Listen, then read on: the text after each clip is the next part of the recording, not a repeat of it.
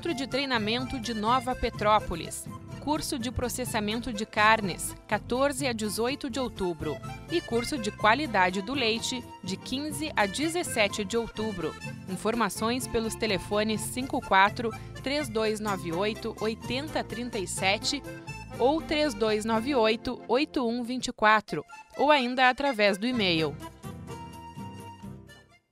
A apicultura é importante fonte de renda para agricultores familiares do litoral norte.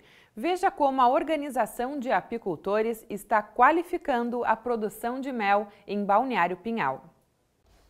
Com cenário favorável para a apicultura, o mel, que é um alimento completo com grande poder nutricional, é fonte de renda para 20 famílias em Balneário Pinhal.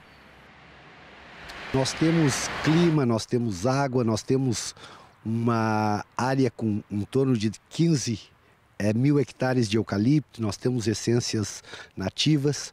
O município hoje ele tem uma apicultura fixa e transitória. Nós produzimos hoje em torno de 50 toneladas de mel.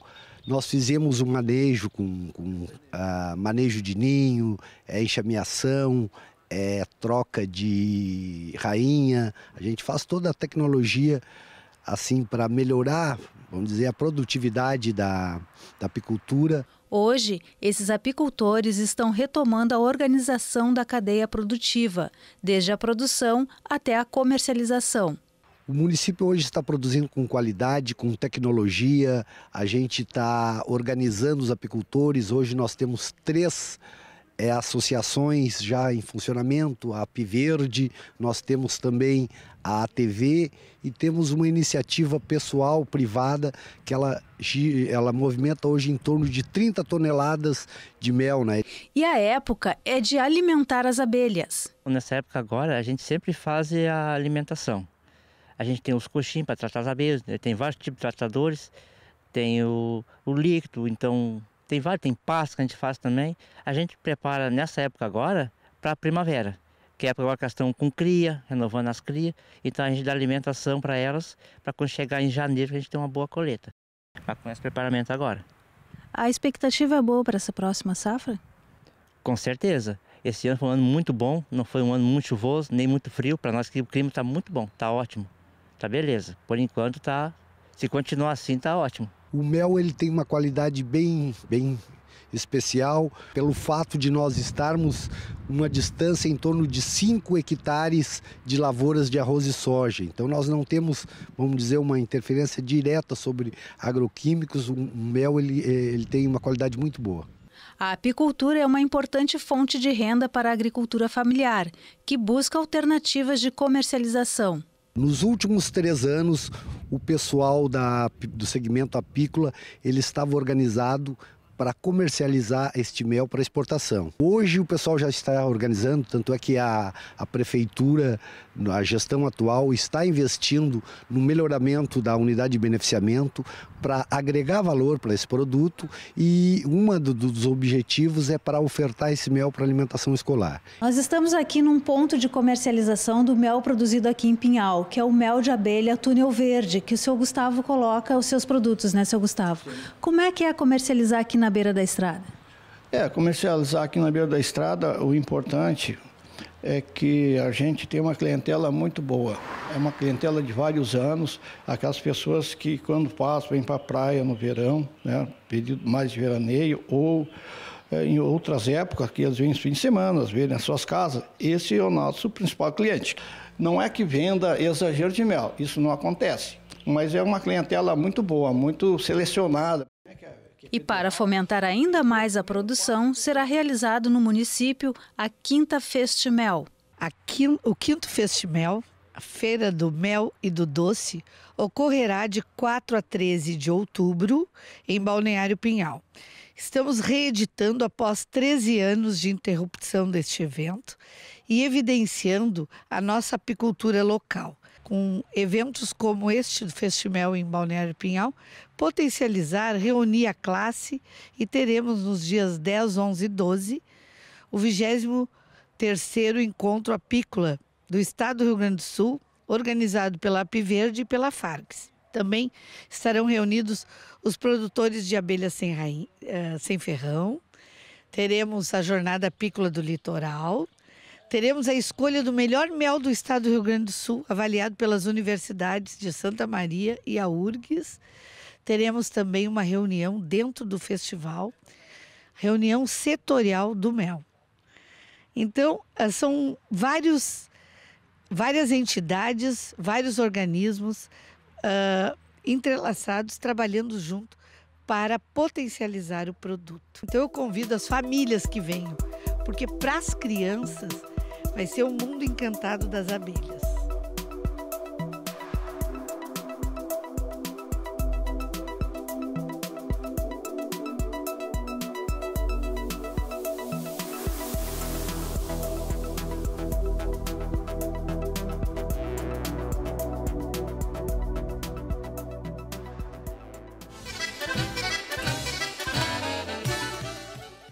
A utilidade do mel vai além da alimentação. Ele é considerado um alimento de alta qualidade nutricional, rico em energia e inúmeras outras substâncias benéficas ao equilíbrio dos processos biológicos do corpo. O mel pode atuar ainda como sedativo, cicatrizante, antisséptico, digestivo, laxativo e expectorante. E na receita da semana você vai ver como colocar esse poderoso alimento no dia a dia.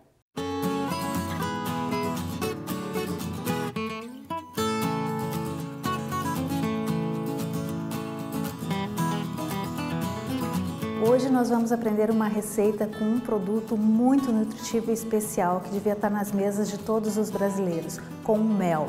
E a Fernanda, extensionista da Emater, vai nos explicar um pouquinho por que esse produto é tão importante. Sim, o mel ele é um adoçante natural. Esse adoçante pode vir a substituir o açúcar refinado ou outros tipos de adoçantes que nós utilizamos normalmente na mesa. E além dele ser natural, ele traz para nós sim a energia, né? então nas, nas dietas a gente tem que ter controle do mel, mas ele traz cálcio, ele traz potássio, ele traz vários benefícios para a nossa saúde. E porque, qual é a diferença do mel, de adoçar um, algum alimento com mel e com açúcar, Fernanda? A diferença já está na quantidade de calorias, né? A mesma quantidade em açúcar nós vamos ter em torno de 190, 200 uh, calorias. E o mel, em compensação, a gente tem 77 calorias na mesma quantidade, na mesma proporção. Além disso, o açúcar vem com calorias vazias, porque não acrescenta outros, né, uh, nem qualidades, né? E enquanto o mel ele vem para trazer potássio, ferro, importante, utilizado já há muito tempo para infecções, né? Infecção da garganta, já é comum, a gente já vem uh, traz isso dos nossos antepassados, né? Mas o mel também pode ser usado nas receitas, em substituição ao açúcar. Então é isso que nós vamos ver hoje, ele sendo usado como o ingrediente principal da nossa receita. E para nos ajudar está a Mara aqui com a gente e a Terezinha, que vão ajudar, na verdade, a Fernanda a fazer esse bolo de mel com banana. Vamos lá, meninas? Vamos.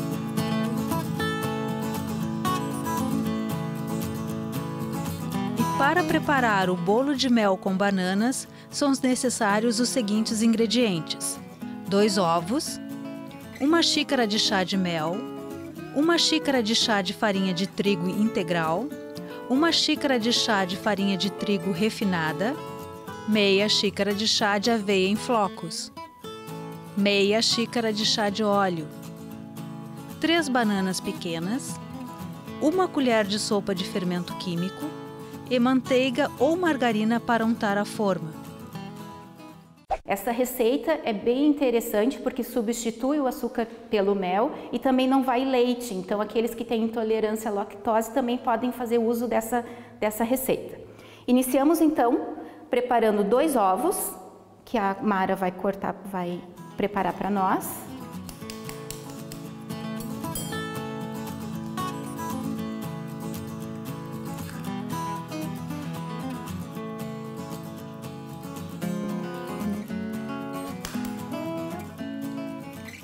Esses dois ovos vão ser batidos. Pode ser feito também a utilização da batedeira para essa receita. Eu já experimentei nas duas modalidades e a diferença é bem pouca.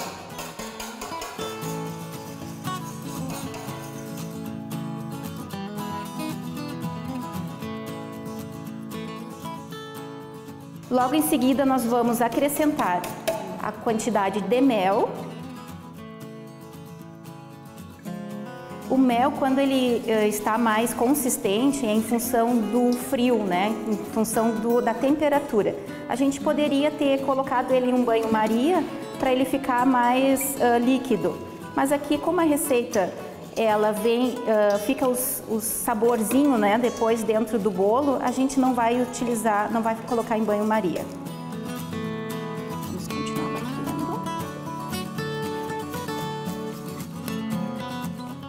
Existem também diferenças no sabor do mel de acordo com a florada que o mel é produzido.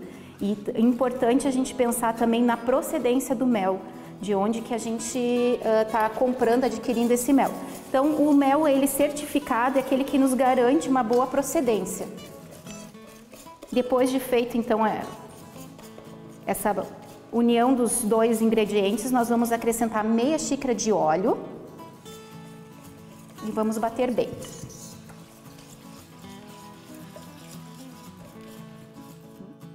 E em seguida nós vamos acrescentar a farinha integral e a farinha branca, já peneirada.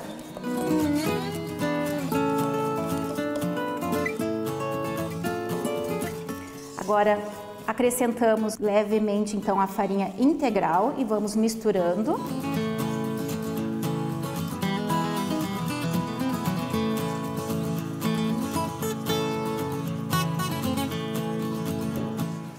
Após inserir então a farinha integral, nós vamos colocar a farinha de trigo branca.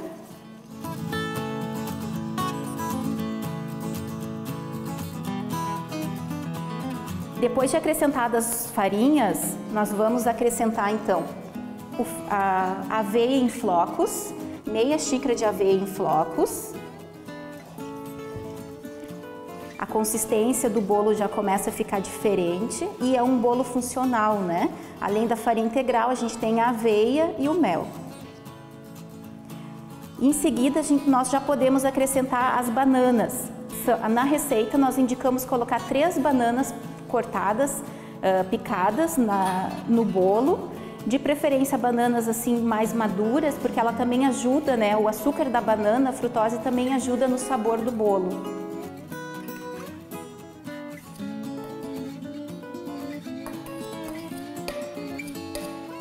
Dá toda a diferença as bananas no bolo, um sabor especial.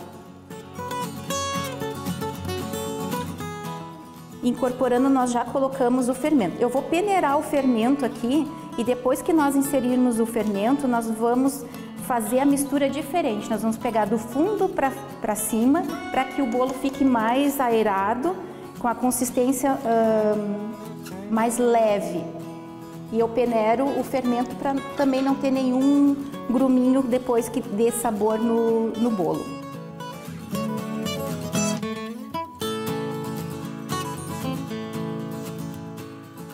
A forma, ela deve ser, pode ser uma forma uh, retangular ou ela pode ser uma forma com um furo no meio.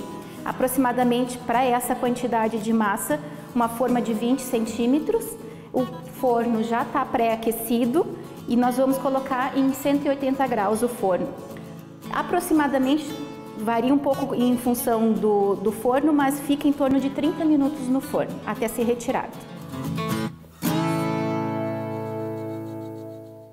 Então, após meia hora de forno a 180 graus, o bolo de mel com banana está pronto e agora nós vamos degustá-lo. A Fernanda arrumou essa linda mesa pra gente, né, Fernanda, aqui nesse dia lindo de sol. Mas vamos cortar o bolo, Fernanda, meninas? Sim. Nos ajudem? Sim. Vamos lá. Vamos degustar então o bolo. Vou pedir ajuda aqui então da Terezinha. Ele fica com uma consistência firme, mas também ao mesmo tempo aerado. A gente pode notar aqui os pedaços de banana. E agora vamos então degustar para ver o sabor do mel, como é que ele fica.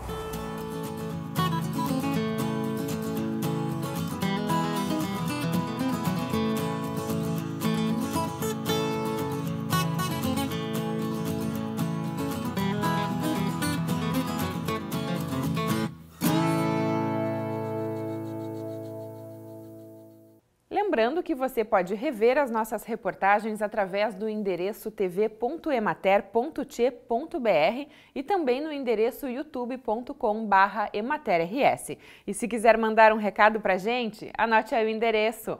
Rio Grande Rural, Caixa Postal 2727, Porto Alegre, RS. O CEP é 90 150 053 e o e-mail é rgrural@emater.t.br. Nós acompanhamos no programa de hoje mais imagens e depoimentos de gaúchos pelo estado, pelo país e pelo mundo chimarreando por aí, em homenagem ao mês da Revolução Farroupilha. Você pode conferir os vídeos através do YouTube e também nas nossas redes sociais. Muito obrigada a todos que participaram, mostrando o orgulho de ser gaúcho. E assim nós encerramos essa edição do Rio Grande Rural. Muito obrigada pela companhia e até o próximo programa. Tchau, pessoal!